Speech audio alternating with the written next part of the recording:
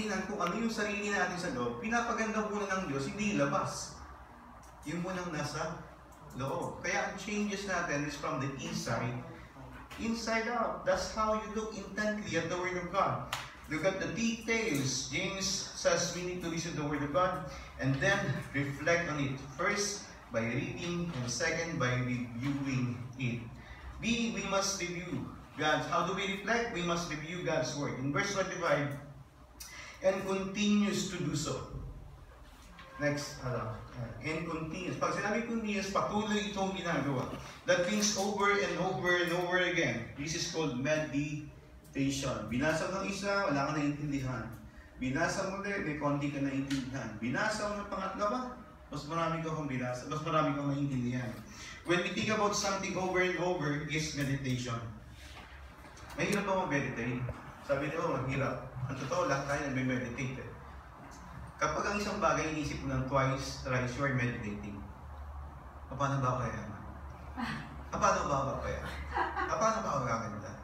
You're thinking it over and over again. Paano ba gagaling sa pagigitara? Paano ba gagaling sa pagkanta? The Word of God is like that, meditating the Word. Hindi ka basta nagbasa, tapos na. But you try to analyze. Ano ba sinasabi nito? Ano ba itinuturo nito? Ano ang pinapakita? How does the Bible look at me? Take it. Sabi dito, meditation means to think seriously about something over and over. If you know how to worry, you can meditate. Ulitin ko. If you know how to worry, you can meditate. Marunong ka magadala? Yes. Amen. Then, you know how to meditate. Take a negative idea and think about it over and over again. It's called worry. Take God's word and think it over and over again. It's called meditation. The Bible says, meditate on God's word. Jesus said, if you come in my word, if you continue in my word, then you are truly my disciples. Read it, review it. The outlines I give you each week are not so that you can keep up with me. It's so that you can review it during the weekdays. God says you want to be blessed by the word, review it. Ano kahalaga? Baka yung nagsimula ng reflection, pag uwi natin, nakinig tayo ng Sunday, nagbasa tayo, at pinapagawa tayo ng reflection. Anong purpose? So that we can review the message of the Lord during Sunday. Para hindi natin ito sa loob ng isang linggo. In Psalms chapter 119 verse 97 says, I meditate on your word all day long. Every businessman ought to memorize Joshua 1 If you'll do one thing for God promises to be blessed with you with success, And that's a promise as if you meditate on His Word. Ang pagpapala ng Diyos ay nandun sa pagbubulay-bulay ng salita ng Diyos. Read it and review it continually. Stay in it and be faithful to the loop. I know some people that are more faithful to, un, to, to other people than they are to God's Word. Ano ibig sabihin ito? Maraming pagkakataon sa buhay natin, mas tapat tayo sa tao kesa sa Diyos. Kasi there are times, pipiliin natin ang tao kesa sa Diyos. Pipili natin ang tao kesa sa salita ng Diyos. How do we reflect on the Word of God? Next is we must remember God's Word. Not forgetting, in verse 25, not forgetting what He has heard. Hindi niya kanalimutan kung ano yung kanyang narinig. You will benefit in your spiritual life by developing a habit of memorizing Scripture in order to apply it to your daily life. It will benefit you on a personal level and on a spiritual level to develop the habit of memorizing Scripture for the purpose of growth and development. Hindi lang tayo nag, nagbubulay-bulay, kundi maganda rin na maunawaan natin at maitanim natin sa ating mga puso ang salita na ito. Ano ang pinaka-mabisang sagot in temptation is the Word of God. Ay, nakalimutan ko yung verse. Ito. Okay pa naman yun eh. Pero mas maganda kung Uh, bakit pa uh, importante na nasa puso natin salita ng Diyos? Because it is our, our it is it is our only weapon in terms of trials, in term, in terms of tests, and in terms of temptation. If we have the Word of God, we are using the wisdom of God. Amen. Nakanaman? Amen. Kung wala yung, there are many times, in times, in times of troubles, in times of temptation, in times of tests and trials, we do not use the Word of God. We use our own wisdom. Nakala natin tama. Ay, katwiran. Iniisip natin nakala natin tama ito. But if you're not using the Word of God, we will fail. We will fail. The word I have here, sabi ni Apostle ni, ano, ni uh, thy word have I hid in my heart that I might not sin against thee. Memorizing God's word, if you want to benefit from it, we may remember that it is very important to us. Take note, write these things. If you value God's word, you're going to take note of, take note on it. Go home and study those notes until they become part of your life. That's why we encourage taking notes during the service. Sa, sa Korean Church, ayaw bawal yan. Kailangan pag nagsasalita ang pastor, nakatingin ka sa pastor. Bawal hindi na ini-encourage yan. Tatawagin pa nga why are you not listening?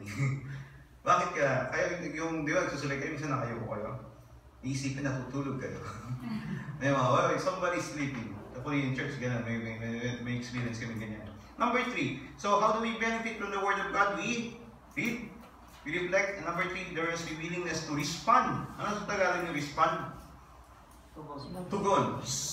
Ano tugon? Ano, wala akong mababaro. Ano tugon? Sumagot. Sumagot? Ah, oh, basta alam natin yan. No? Verse 20 to 24, it says, But be doers. And let us read all the, uh, the verse. Uh, 22. Then basahin mo natin. Do not merely listen to the word and so deceive yourself. Do what it says. Anyone who listens to the word that but does not do what it, what it says is like someone who looks at his face in a mirror and after looking at himself goes away and immediately forget what he looks like. I must do something about it. Kapag narinig natin, napagbulay-bulayin natin, the next step enable for us to benefit from the Word of God, going every Sunday and hearing the Word of God, we must act on it, live it, and practice it. In verse 22, do not merely listen to the Word of God, practice. Naniniwala tayo di ba doon sa word na PMP? Practice makes perfect. Totoo yan, di ba? Pero meron mas maganda in Christian life. Ano yun? PMP rin. Practice means progress. Kapag pinapractice mo yung salita ng Diyos na natutunan mo, pinagbulay-bulay mo, lalago ang iyong pananampalataya. Any response to the Word of God that, that does not produce a lifestyle of obedience is self-deception. Ulitin ko. Any response to the Word of God that does not produce a lifestyle of obedience is self-deception. Wala kang ibang dinadaya at iduloo kundi sarili mo kung ang kung, kung ang iyong pagbabasa, pakinig ng salita ng Diyos ay hindi magbubunga ng isang buhay na may pagsunod sa salita ng Diyos. What good is a mirror if you look at it and don't do anything about it? When you gaze into the mirror, you see the real you. You see all where you need to make improvements. James says we see our natural face. In other words, we see face that we were born with. When we study the Word of God, we see all our imperfection, our weakness, our shortcoming, and our sin. Kapag tinitingnan natin yung sarili natin, dalawa naman talaga sa salamin, nakikita natin yung maganda sa atin, at sa same time, nakikita natin kung ano hindi maganda sa atin. And when we reflect on the Word of God, sabi ni James, makikita natin yung ating imperfection, ano yung pangit sa atin, our weakness, yung kahinaan natin, our shortcoming, yung mga pagkukulang natin, and also we see our sin. The good news is, ito yung magandang balita kapatid, when we study, when we study the Word of God, it also reveals what we need to do to correct all those problems. Ganda. Nagkakaroon ng pakinabang salita ng salita ng Diyos sa buhay natin kasi nagkakaroon tayo ng pangunawa kung anong dapat natin gawin sa mga bagay na negative sa buhay natin. We are deceiving ourselves when we hear the word of God and we do not apply the word to correct the problem. May problema na ayaw pang ayusin. Ano tawag ba? Pinapabayaan mo yung sarili mo. We hear the word. Kaya mapalad tayo nakikinig sa salita ng Diyos. Why? Kasi hindi hindi hina when we go to church, hindi hinahayaan ng Diyos na yung pangit sa atin lumala. Lumaki. Hindi na hindi hinahayaan ng Diyos sa pabayaan natin na yung hindi maganda sa atin ay makahawa pa. Hindi na pangit na, di ba? Yung parang sakit. Kinukure kagad tayo ng Diyos kesa ito'y makahawa pa sa iba. Inaalis kagad ito sa atin ng Diyos. The test of maturity is not how much you know about the Bible, but how much you practice of what you know. Ulitin ko. The test of maturity is not how much you know about the Bible, but how much you practice of what you know. Kaya maturity wala sa pinag-aralan. Wala sa degree. Wala sa edad eh. Nasa kung gaano karami ang nai-apply natin sa buhay natin sa mga bagay na nakatulad natin. especially in our relationship with God. You may be one year here, pero baka mas mature pa sa akin yung two months old sa Espiritu. Kasi He's applying everything. Let me ask you a question. How many of you would allow a doctor to operate on you?